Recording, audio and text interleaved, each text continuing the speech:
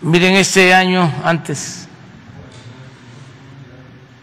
este está dedicado a Ricardo Flores Magón, porque hace 100 años fue, eh,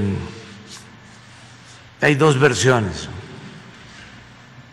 una de que fue asesinado en su celda en Estados Unidos y otra que murió por un infarto.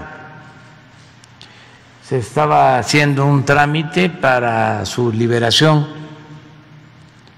Era en ese entonces Álvaro Obregón, presidente de México. Ricardo Flores Magón, sin duda el dirigente social de más firmes convicciones. Mucho tiempo de su vida lo eh, eh, vivió en la cárcel y en 1922 eh, encontraron su cuerpo en la celda, ya estaba a punto de salir. Se trajo su cuerpo para que tengamos una idea de la importancia de este dirigente, que fue de los precursores de la Revolución Mexicana.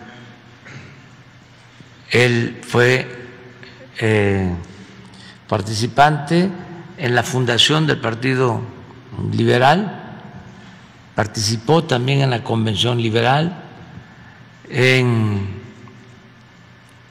1904, en pleno porfiriato, eh, con el periódico El Hijo del Aguizote, se manifestaron en contra de Porfirio Díaz y aquí cerca, donde estaba la imprenta del Hijo del Aguizote, eh, un 5 de, febrero, eh, pusieron una manta eh, que decía la revolución, la constitución ha muerto.